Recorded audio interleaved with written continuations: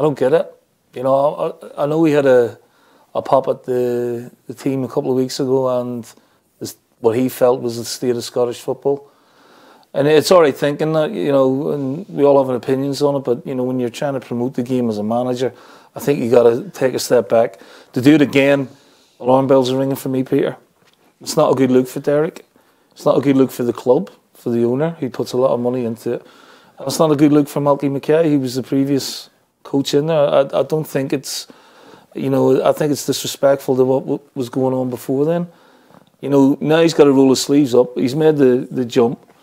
Talking about delving into things, he knew, he, he's been at Ross County mm. twice. Twice. Mm. So he knows the club inside out better than most people. So he knew what he was getting into. Maybe there's a few things that have surprised him, I don't know. But you, you try and keep them in house. All right, they've had a disappointing and embarrassing result. Partick Thistle can do that. The team sometimes they've got goals in them. But you know, where the what messages that send out? One to the supporters and two to the players. Yeah.